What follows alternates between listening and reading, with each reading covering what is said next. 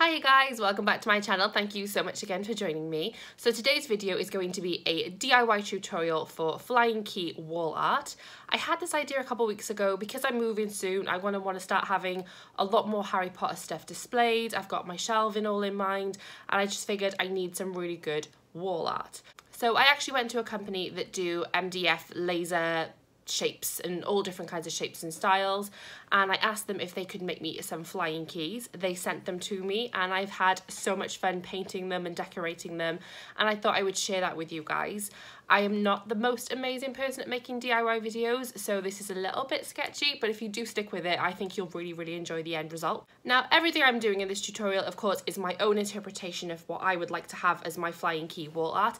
If you guys were to follow this tutorial obviously you can use whatever colours you want, any styles, you can use gems, crystals, anything along those those lines. But yeah, like I said, this was just my own interpretation. And yeah, I hope you really, really enjoy it. I'm going to get straight into it.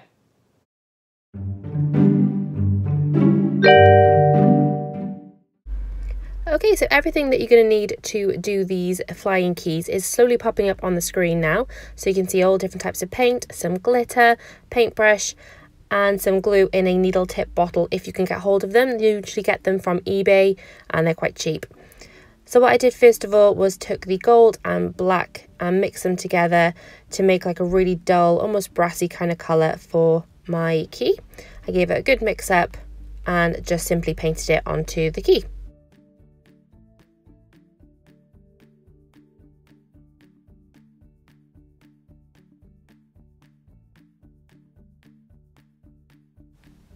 I thought this colour was absolutely perfect because it kind of made the keys look a little bit old and vintage, but at the same time, still really, really pretty and shiny.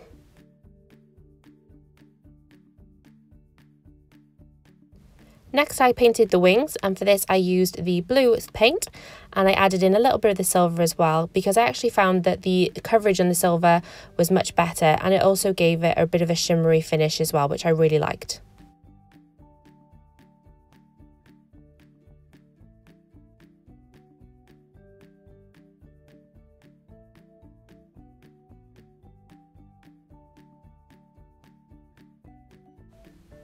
I did kind of wing it on this part. I wasn't sure how much of the silver I wanted to use. I knew I wanted the wings to be more blue than silver, but I wasn't really sure on how much blue I'd actually need. So this is me just kind of testing out what kind of colour I like. So obviously you guys can use whatever colours you prefer and whatever kind of tones that you want. I just thought that this was the best colour for me personally.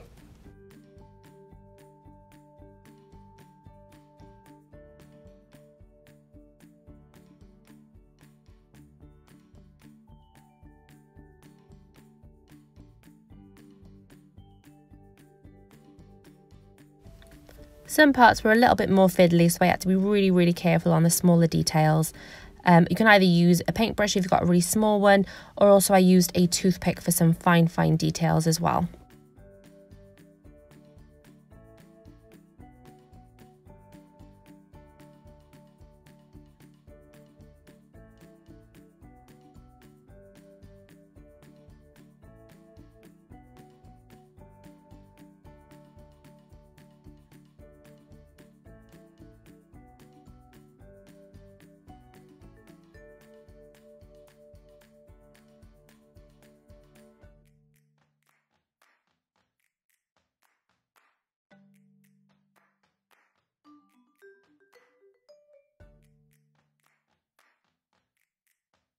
I apologise that you can't really see what I'm doing on this part. I didn't really realise that I was out of shot with the camera, but I am just painting those small parts of these wings here.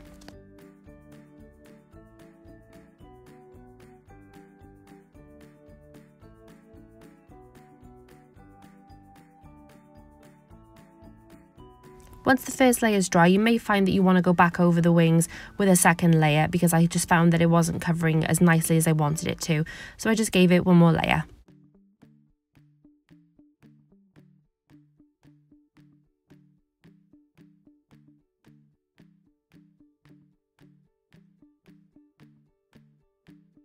So next I wanted to paint the smaller details in the wings and for this I wanted to use the silver that I used earlier on. I literally just used silver this time, I didn't mix it with any other colours um, because I just wanted it to give it that little extra depth in the wings and to make it even more shimmery than before.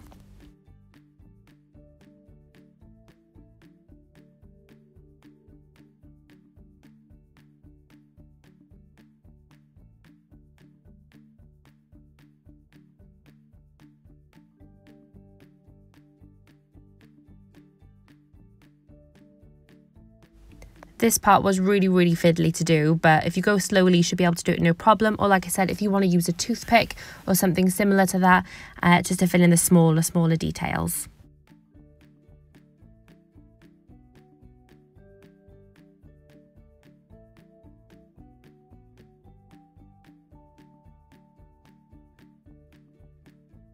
I actually really loved how these wings turned out and thought they were absolutely perfect for the look that I was going for.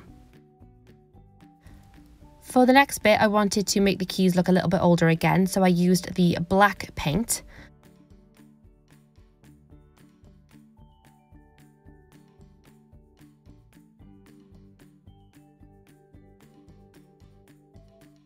So what I did for this part was I put small amounts of the paint onto my paintbrush and then wiped it onto a kitchen towel to get as much of the excess paint off as I possibly could.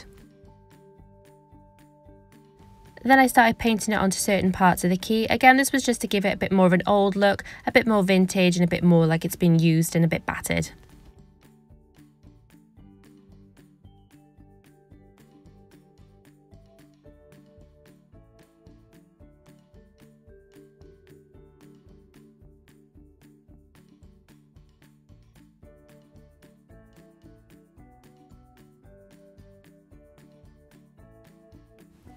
Again, I was really pleased with this technique and thought they made these keys look really, really cool.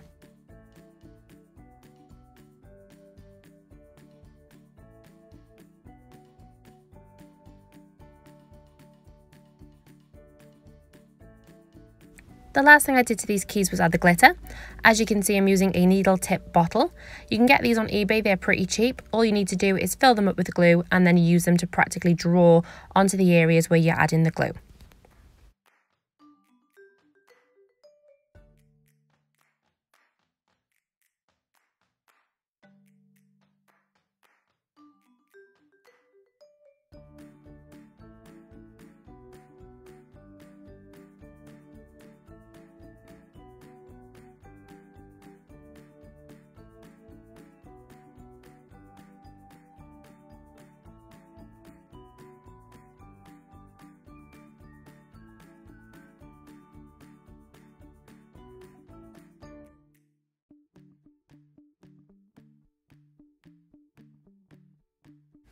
I'm using silver glitter.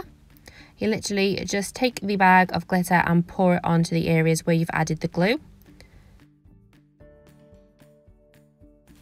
And then you just bang off the excess.